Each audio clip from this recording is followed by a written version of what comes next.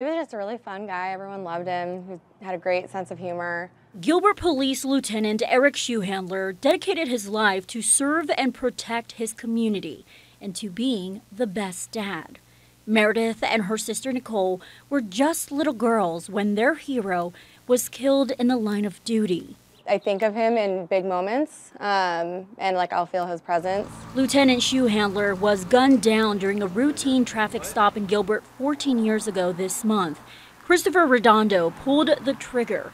Nine years later, Redondo was sentenced to life in prison.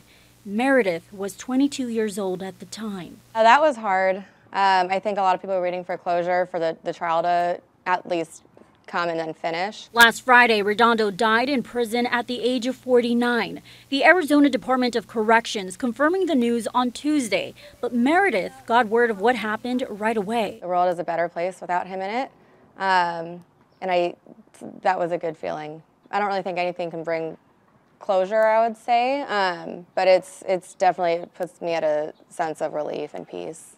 With a lighter heart, Meredith is holding on to her father's love that never left and will continue to keep his memory alive. I think we honor him every day just by talking about him and thinking of him often and just doing things to make him proud.